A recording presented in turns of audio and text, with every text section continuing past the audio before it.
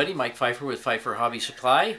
Uh, tonight I'm going to do a little tiny short video on um, making some holes down through foam. It doesn't sound too hard. Uh, most people chop a hole in or they stick an awl down through or something like that, which I have done. However, up there at the mine, I ran into a particular problem where I needed to go down through six, seven, about eight inches of foam. Uh, I didn't want to drill down through. I wanted to make a relatively small hole. Uh, and then I had mentioned it on a video and I had one of my subscribers uh, point out to me about using heat. Uh, so we're going to show you how I did it. And I want to thank the subscriber. I can't remember his name. But I want to thank him for pointing this out to me. And it works terrific. And I'm going to show you how it's done. Okay. As you can see here, if we had levels, uh, uh, multiple levels of foam stacked up, it might be hard to get all the way down through there with anything and keep a hole. You know as well as I do, you stick it all down through there and you pull it out, you wind up, uh, the foam winds up closing in on the hole. But uh, anyway, with the suggestion of, of the subscriber, what I'm using is, this is number six ground wire. I just happen to have it here. You could definitely use a smaller wire than this as long as it was rigid. And we're going to use a torch. And I happen to have one that auto lights, which makes it relatively handy. And I'm just going to heat this up. I'm going to poke it down through there and show you how easy it is.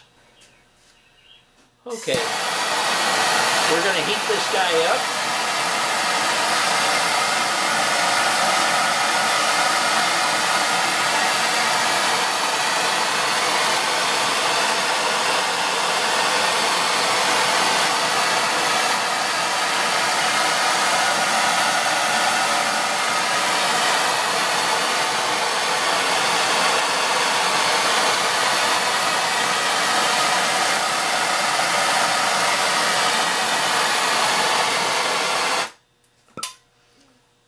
And you don't need to be in any big rush to do this. And I have to hold this because these pieces are not glued, but I'm going to show you how easy this is. You ready for this?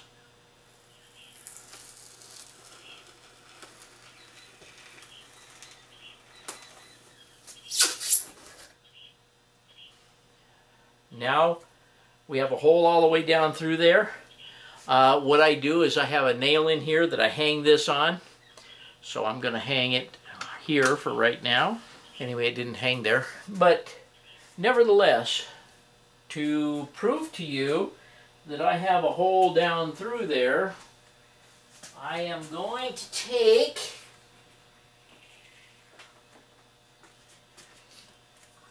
and that hole there, that hole there is uh, it's a little less than a quarter of an inch in diameter and you may not want a hole that big but I'll show you how to rectify that as well or what I did in the back back here at the mine and I'll show you a picture there in a minute. But I have just this piece of stranded wire that's, I don't know, it's probably 24 gauge solid.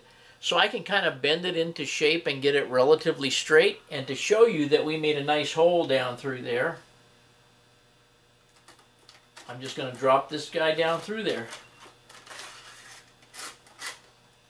There you have it. Now, what I do if I'm hooking a street light or something that has a real tiny wire on it, um, I don't have one out here, but what, what I normally do is the end of this is twisted. Let me zoom in a little bit here. The end of this is twisted, and the other end is twisted so it doesn't catch as you're pushing it down through. You could use a single wire, by the way. This is not, not rocket science here. But anyway, I take my little fine wire and I twist it around in the same direction as the twists on this wire. And then I just make sure and twist it real, real well there.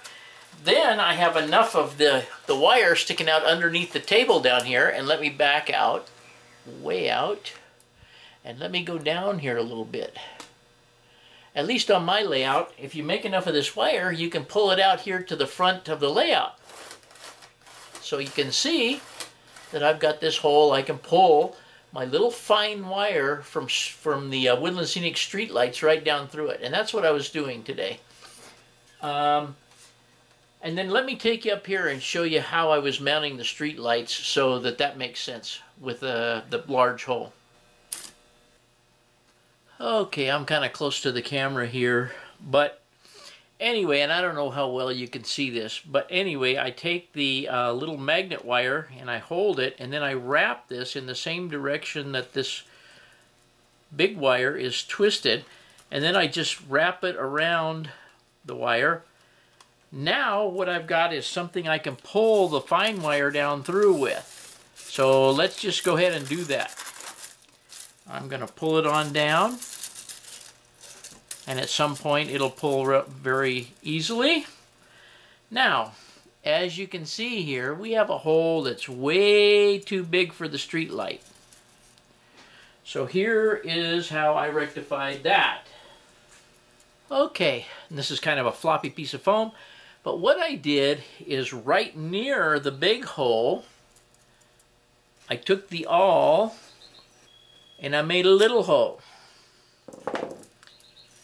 Then I took, let me see if I can zoom in for you just a little bit here. Then I took the magnet wire and folded it back up the lamp post, like so.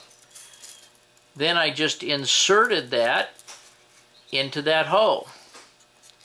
Now you can see that I have a lamp post that's standing upright and then I can take that slack and pull it right down either into the foam or down onto the ground. Now all I have to do is put a small piece of masking tape over this or however I want to fill it. I could put caulking in there, whatever I want to do. And then I can come back, put my ground cover around here, and off we go. So there's a thought on how to pull wire through uh, many layers of foam. And I don't know how many layers I have right here. I've got two, four, six, seven, at least eight and a half inches there. So that's how I mounted the lights. Let me show you how that turned out today. So here's what I have up here. Uh, I used the same method to stick the uh, hot uh, wire down behind the masonite there and all the way down through the foam from that position it's at right now. Then I super glued the uh, blinking LED to the printed backdrop. And now I have a blinking warning light there. I've also put in these street lights. I have not come back and done any of the scenery work.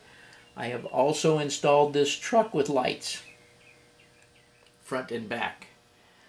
So just to give you an idea of how dramatic this is, let me turn off the lights here.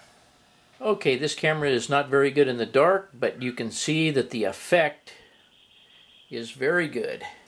Even the truck coming down the road, if I get down off of here and I go around the back, you can see the tail lights on the truck.